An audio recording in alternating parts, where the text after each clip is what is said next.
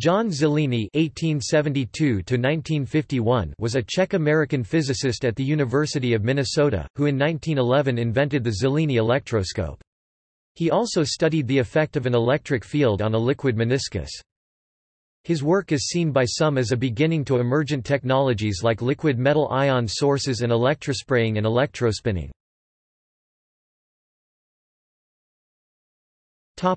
References External links